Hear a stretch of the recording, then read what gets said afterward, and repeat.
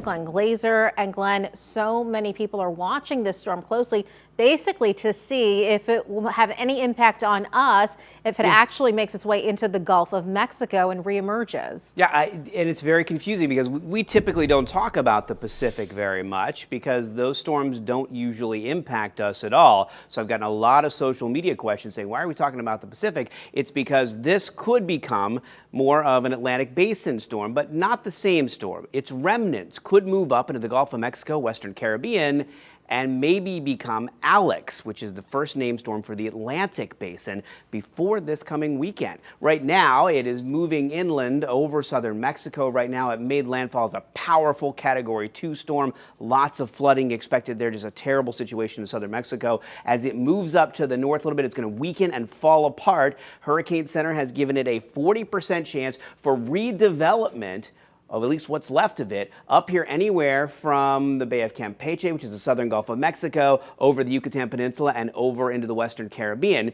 Here is the European model for this. Now, there's a lot of different computer models we look at. European is typically one of the most reliable. That being said, none of the computer models are doing a really good job right now because mainly they don't know whether it's actually going to redevelop or not as we make our way into this coming week. Let me do this. I want to put the European model into motion for you.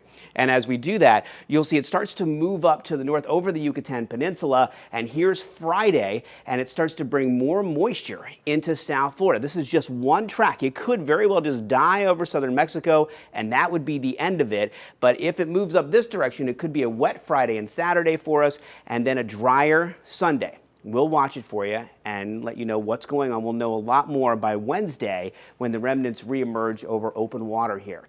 All right, let's take a look at what's happening locally. Jupiter Inlet looking nice right now. We had a nice end to the day and not so great beginning of the day with all the rainfall that moved in along the coast. We've got temperatures in the low 80s across the whole area right now.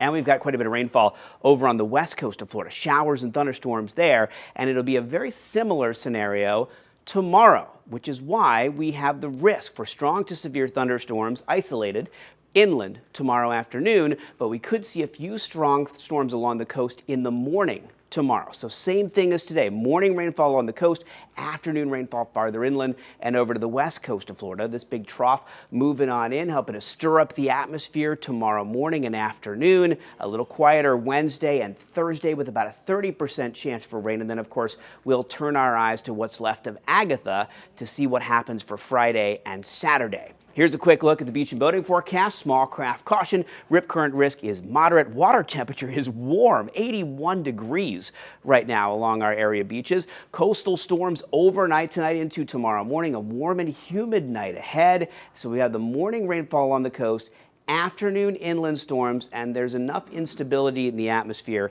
that any of those thunderstorms could be on the stronger side when they develop tomorrow. So we'll keep our eyes on that. It's about a 40% chance for rain, 30% on Wednesday and Thursday as some slightly drier air starts to move in, and then big question marks for next weekend as we head into Friday and Saturday. We could see these rain chances go up if the remnants of Agatha move up toward Florida. We could see the rain chances go down if that doesn't happen or if the remnants end up south of Florida. Then we end up on a little bit of a drier pattern as we get into Friday and Saturday and even Sunday. Uh, regardless, I do think rain chances will go down again Sunday and Monday of next week. We're going to post a lot about this storm on social media and we'll bring you up to date every single newscast. That's a look at your first warning forecast.